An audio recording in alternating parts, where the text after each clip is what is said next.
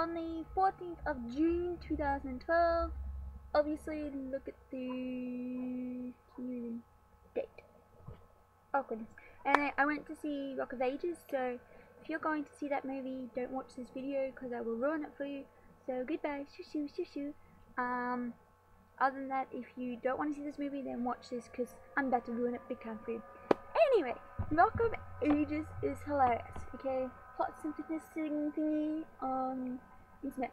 Set in 1987, Los Angeles, Drew and Sherry are two young people chasing their dreams in the big city when they meet it's love at first sight, though their romance will face a series of challenges.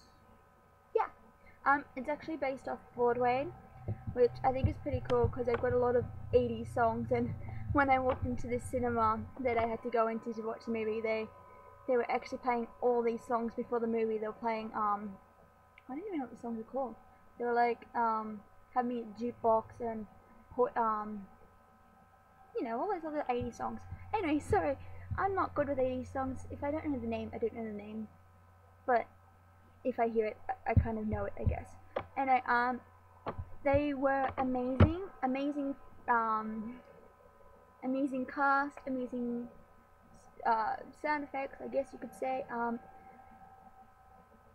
let me explain who's in it. Uh, Diego Boneta plays Drew Bully, which is obviously the lead male. Dakota Sage Grant, she plays a little girl on the bus. She's like six years old, I think. She looks six, and she sings like this song that says "Your love's gonna find you no matter what." I'm like, oh, yeah, something like that. Anyway, um, Julianne Mm, she plays Sherry Christian, which is the lead female in the movie. Um, she goes through ups and downs. She um, wants to be a musician, so she goes to Hollywood. She gets robbed, and that's where she meets Drew. And she works at the same bar that Drew works, which is the Bourbon Room Club. Yes, something like. Bourbon something. And so, and then things happen, and she kind of quits, and then she goes to be a pole dancer. She's like interesting. Uh, Tom Cruise plays Stacy Jacks, and I mean, he is actually a perfect doctor. He's got all these tattoos, he's got the body, the leather pants, the long hair. It's pretty scary. I mean, I've never seen Tom Cruise with long hair before. And man, it's hot. Um, okay, random guy. Alec Baldwin is Dennis Dupree. He's the owner of the Bourbon Room Club, whatever, the Bourbon something. Um, he's also unknowingly gay. Um, by that I mean he doesn't understand. We don't understand. We just think he's old and we think he's gay. Oh, no, we think he's old and we think he's straight and he and we think he's single. Um, but he's gay even though no one knows, not even himself.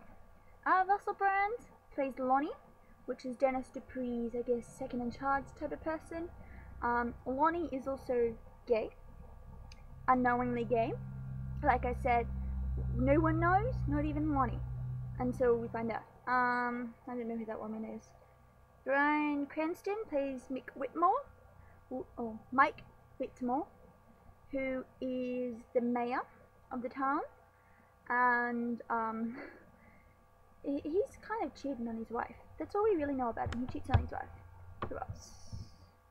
Uh, Bartender Jimmy is played by Shane Hartline. Um, he's only got like, or even though we see him in a few scenes, he doesn't really speak. He only says, "Don't worry, these guys, are, these are actually dudes." Um, that's all we really hear him say. Uh, Doug Flintlock is played by James Martin Kelly. Pardon me, played by James Martin Kelly. Um, Doug Flintlock is actually the ex-mayor. I guess the guy that stepped down. I don't know. Mayor stuff. If you're into politics, you'll understand. But he was the mayor, and then someone else took his place, which was Mike. But, yeah. Um, Catherine Zeta-Jones is Patricia Whitmore, obviously Mike's wife. Um, she... I'm trying to breathe. I can't breathe in the stress. Um, she is the girl that had a fling with a rock star and now she's the girl that hates rockets. Pretty much, she does really cool dance numbers. Um, she says, I hate rock and roll, and then when she meets Stacey Jack, Stacey puts her hand on her boob and goes, hi, you filled out pretty well. And I'm like, whoa. Um, Selena Beach plays the mayor's secretary, which is pretty much like this mayor's secretary who's sleeping with Mike Whitmore. Um, that's pretty much. Oh, Mary J. Blige is also in there. Who should she play? Um, I don't really know her name in it. Hold on, let me just find it. Control Uh, she played Justice Charlier. Charlier? Justice Charlier. Um, so that was Mary J. Blige. She's pretty much the lady that runs the Viper Room for gentlemen. It's pretty much a pole dancing club where gentlemen can do their stuff and watch females. Um, there's a whole bunch of other people, but they're not really as important.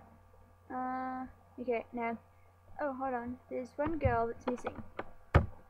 And, ah, Malin Akerman, who is Constance Stack. Uh, Constance Stack is a reporter for the Rolling Stones, a magazine, not band, but magazine. Um, she goes to interview Stacey Jacks. Uh, it kind of ends up in an awkward situation where it goes one minute take me, next minute don't touch me, sort of thing. And then she prints this article saying Stacey Jack's just an idiot, and no one gives a damn about him and all that sort of stuff. And Stacey's like, hey, I love you now, and she falls pregnant with his kid, which is kind of like, oh. Um, these people, I mean, um, the guy who plays Drew, oh, Drew Bowling, which is a character, he also calls himself Wolfgang Ben Kotz, Bemcott. Yeah, and he sings like the song that says um, she's just a small town girl and he's just a city boy. You know that song? Google it. If I can find it, I'll put it down in the description box. Anyway, so he claims to write that song, which I'm pretty sure is done by a different band. Um, Tom Cruise does sing. Pretty cool. He he sings Paradise City by Guns N' Roses, and he sings um, put some sugar on it? No? Uh, sugar on me, you know that, put some sugar on me, you know, that song, I don't even know, but if I find it, I'll Google it, I know what song I'm talking about, but yeah, um, so he, he does a few singing, he also sings another song, like, What's Love, What Is Love or something, um, yeah, sorry, I'm not really good with my 80s songs if I don't know them off by heart, sorry, but, um, it is worth going to see, um, might I also admit, Alec Baldwin and Russell Brand kiss. I didn't know that until I watched last night the news, the project on Channel 10. I didn't know that, and I was just happened to be on Channel 10 to watch a different show, and the project's like Russell Brand and Alec Baldwin interview. And I'm like, oh my god, I have to watch, and decided to tell uh, the viewers that Russell and Alec kiss, which is kind of like, oh, and um, Alec Baldwin stated in the interview that he's like, Oh, Russell Brand told me that we'd be kissing other people that we've kissed. And just imagine it that way. I'm like, that's so hilarious, but awkward. Um, so it's totally worth seeing, especially since you get to see them two kiss. Oh yeah, um, there was like me and six other people in a cinema. And there's two old ladies. Two old ladies I found were hilariously annoying. They talked throughout the whole movie. Um, when Alec Baldwin and Russell Brand kissed, they were like, Ew, get that off the screen, don't they know there's kids that watch this movie? And then when Tom Cruise's character Stacey Jacks kissed that Marlene chick, you know, um, Constance, Stacey Jacks kissed Constance, and they're like, "Ew, that's not a kiss, that's not a kiss." And I'm like, "You weirdos! If a kiss is a kiss, right? Doesn't matter what sexuality you are, doesn't matter whether you're a guy or a girl. A kiss is a kiss. It means the same thing, right?" Anyway, so those old people kind of scared me.